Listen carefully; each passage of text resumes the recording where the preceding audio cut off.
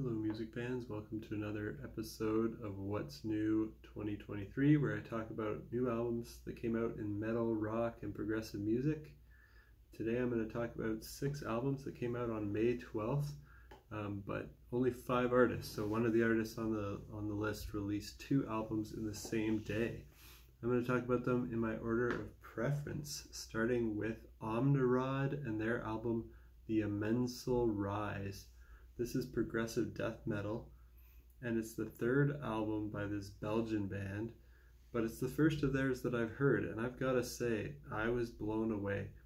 Uh, this will definitely be on my year end top 40 list. I need some more listens just to figure out how high up it will be, as it's a possible top 10 or top 20 contender. If you're a fan of bands like Wilderun, Ne Obliviscaris, Devin Townsend. It's kind of like a mixture of those three bands together. And every member of this band really brought their A game in their performances here.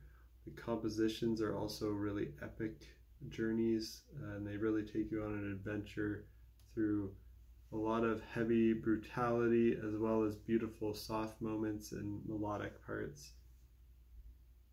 Next, I want to talk about Veil of Maya and their album Mother with the M in square brackets, so it's kind of like mother, but maybe it's other. I'm not sure uh, what is meant by that title. Um, but this is progressive metalcore, and it's kind of djenty. It's got some deathcore and some pop influences too. Lots of catchy poppy hooks. It's the seventh album by this American band. The guitar riffs are really djenty, reminiscent of Meshuggah and Periphery. A lot of heavy, almost deathcore, brutal vocals and breakdowns that are almost as extreme as Lorna Shore, but maybe not quite. Um, but then there are also some really catchy pop hooks and choruses, like what Periphery does as well on their softer moments. And I think fans of Periphery, Meshuggah, and Born of Osiris will really like this. At this time, this is in my top 40 of the year, but it might not be there at year ends. Um, I, I don't think it'll be in my top 40 at the year's end, but it is there now. Um, I'd like to see this band push the boundaries a little more on their next release. They're clearly very talented at writing great riffs, great songs, great hooks, but so far they really only have these two modes to their sound. I find just the extreme djenty parts and then the catchy poppy hooks.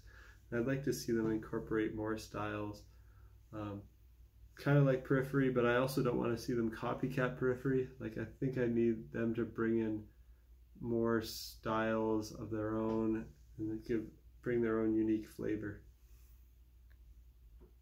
Uh, next up, I want to talk about Cattle Decapitation and their album Terrasite and this is technical death metal with some grindcore influences. It's the eighth album by this American band. I'm not too familiar with this band. I've definitely heard the name, uh, but this is the first album of theirs I listened to it in full. I listened to the single We Eat Our Young first, and then I added this to my listening list. I expected this would be ridiculously brutal, but in a fun way. And yes, it is. So put on your mosh pit shoes before listening to this. There's lots of blast beats and extreme vocals. Actually, it seems like May 12th is kind of the day of extreme metal because everything on my list uh, today is extreme metal. Sorry for the uh, softer prog rock fans in, in my audience. There's not really much for you from May 12th that I could find. Uh, I'll be talking about some softer prog rock uh, next week when Yes comes out on May 19th with their new album. Uh, but yeah, it's all heavy stuff today. Cattle Decapitation, maybe the heaviest thing on this list. Um, lots of blast beats and extreme vocals.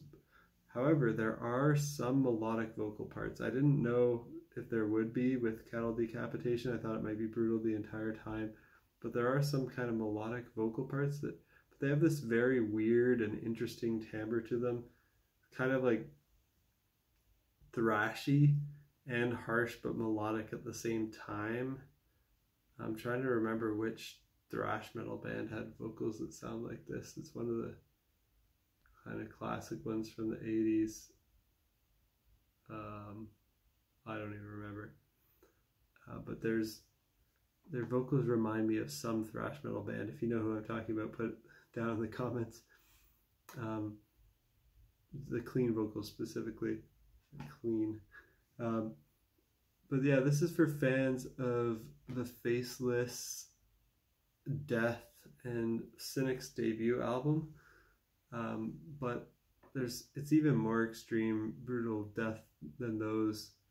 Um, my favorite track at the moment is a Photic Doom. And next, I want to mention the Amity Affliction with their album Not Without My Ghosts. This is melodic metalcore with post hardcore influences. It's also an eighth album. Uh, this band's from Australia. My favorite track at the moment is Show Me Your God. And then the last band that I'm going to talk about is the band that released two albums on May 12th. It's the Acacia Strain. The, uh, my favorite of the two was Failure Will Follow, which I think is more different for them and has them going in a direction that they don't do as often. I believe the other album they released, Step Into the Light, is more like what they normally do. But Failure Will Follow, it's still metalcore, but it's got some like I don't know, it's like yeah, it's still metalcore slash deathcore, but not really. It's like kind of slow and sludge metal and doom metal all mixed in there. And I guess this is their 12th album, and the other one, Step Into the Light, is their 11th album. Very cool that they released two albums in the same day, and very cool that they're very different, and that Failure Will Follow represents their sludgier side. It has longer, slower, doomier songs. They feature some collaborators on here. It's three songs and a 40 minute runtime. And Step Into the Light doesn't have the sludge or the doom influences as much. It's more straightforward metalcore, deathcore album. I don't even think there's any melodic singing. I don't think there's much melodic singing on. Actually, there is melodic singing on the slower one, Failure Will Follow, but it might be the guest collaborators. I don't think there's much melodic singing on Step Into the Light. It's very harsh. Uh, it's under 25 minutes and just has a bunch of short, fast, heavy, harsh, and intense songs with screaming. Um, both are pretty good, but nothing amazing that I'll go back to that often. Uh, but I thought it was cool that they released two in one day and that they're so different. And that's it for my recap of six new albums that I checked out from May 12th. Let me know if there's any other cool stuff in metal, rock, or prog, or even some genres that are outside of my wheelhouse but you think that I'll be interested in leave some suggestions out in the comments. And what did you think about these albums that I mentioned? And stay tuned for next time. Until then, peace out.